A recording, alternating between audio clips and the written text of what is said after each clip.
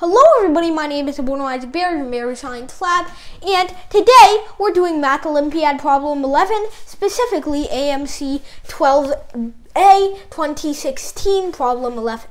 Alright, each of the oh, each of the 100 students in a certain summer camp can either sing, dance, or act. Some students have more than one talent, but no student has all three talents. There are 42 students who can't sing, Let's just note that down so I don't forget those numbers.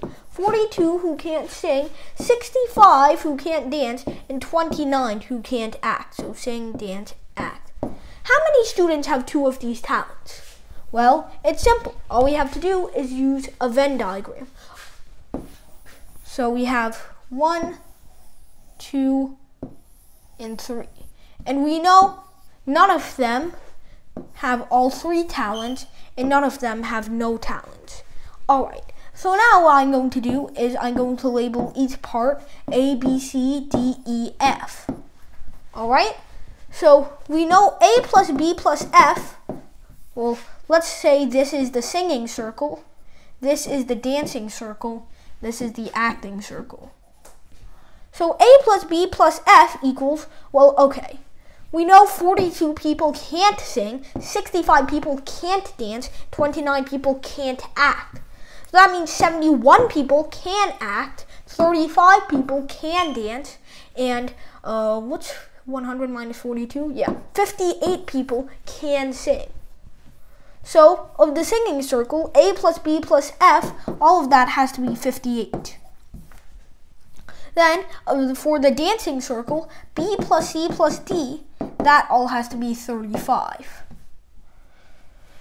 And finally, for the acting circle, E plus uh, D plus E plus F, that has to be 71.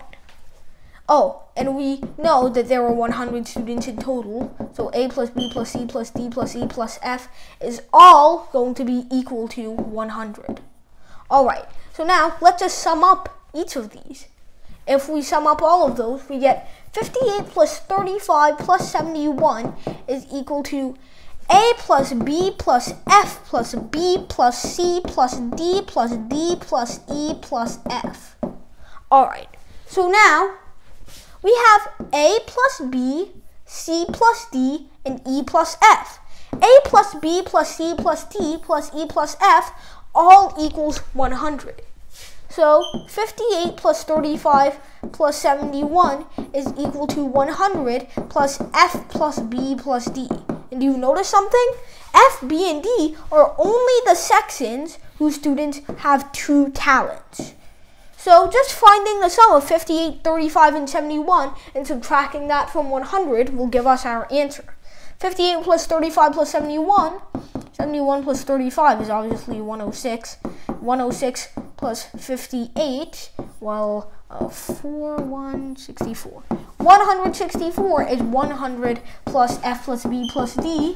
So that means our correct answer is 164 minus 100 is 64.